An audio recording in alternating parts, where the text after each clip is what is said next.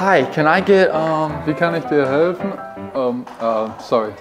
How can I serve you? I'm feeling a latte this morning. Can't go wrong with the morning lattes. Morgan. Don't don't call it that. Well, I'll take what you Europeans call a latte macchiato. Coming right up. Here you go. Why is it in a glass? Oh, I'm sorry. Uh, I forgot that you're American. Wow, thanks. Is it with soy milk? Soy milk. Uh, good good question. Yeah, it's soy. Wow, thank you. Anytime.